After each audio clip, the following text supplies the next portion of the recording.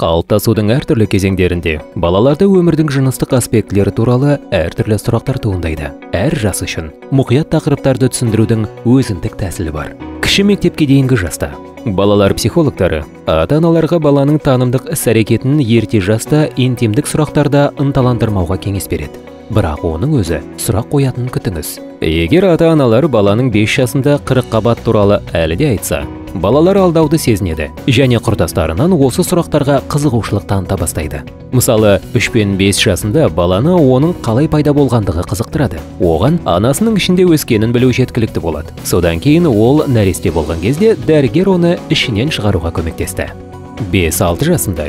Балалар мектепке белсенді дайындалып құрдастарымен белсенді қарым-қатынас орнатады. Олар жыныстық айырмашылықтар мен ұрпақты болу туралы ақпаратқа қызығушылық танытуды жалғастыруда. Бұл жаста адамгершілік мәселелерін көтеріп достық отбасы анаға әкеге бауырларға деген жыныстық емес махаббат туралы айту керек. Ұят ұстамдылық көмекке келуге дайын болу сияқты ұғымдарды қалыптастыру маңызды. Жеті сегіз жаста. Жыныстық тәрбие болмаса да оқушы қыздар мен ұлдардың анатомиялық айырмашылықтары туралы біледі. Бірақ әдетте мұндай мәселелерді талқылауда ұялшақтық танытады және жыныстық даму тақырыбында сөйлесудің әдепсіз екенін түсінеді. Егер бұл отбасында қабылданбаса бала сұрақтар қоюды тоқтатады және ақпаратты тараптан алады. Бала жеті жаста болғанда. Ата аналар өздерінің нәзік тақырыптарын қозғау керек. Сегіз жасында дұрыс жыныстық тәрбиеге ерлер және әйелдер істерімен бірлескен сабақтар және ұжымдағы қарым қатынас тақырыбында сенімді әңгімелер ықпал етеді.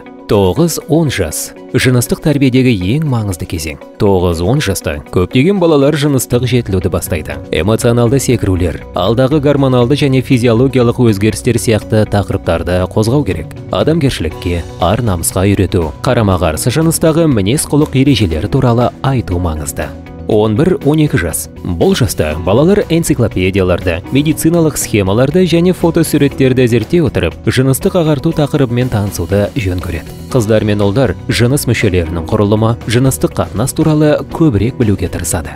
Балалармен сөйлескенде неке институтына отбасындағы ер мен әйелдің рөліне жыныстық қатынас үшін жауапкершілік мәселелеріне және қыздарда етеккір басталғаннан кейін балалардың пайда болуы мүмкін екендігіне тоқталу маңызды. Олар тек ересек болуға дайындалып жатқанын және тәжірибеге көшпес бұрын дамудың барлық кезеңдерінен өту керек екенін түсіндіру керек. Жасөспірім кезінде 13-14 жастан бастап жасөспірімдер жыныстық тәрбиенің жеткіліксіздігімен алғашқы жыныстық қатынасқа түсе алады. Алғашқы ғашықтық пайда болады және қарама қарсы жынысқа деген қызығушылық артады. Контрацепция жыныстық жолмен жұғатын жұқпалы аурулар тақырыптары көтерілу керек. Спортпен шұғылдану адамгершілік мәселелерін әртүрлі мінез құлық үлгілерін талқылау жыныстық өмірдің ерте басталуын болдырмауға көмектеседі.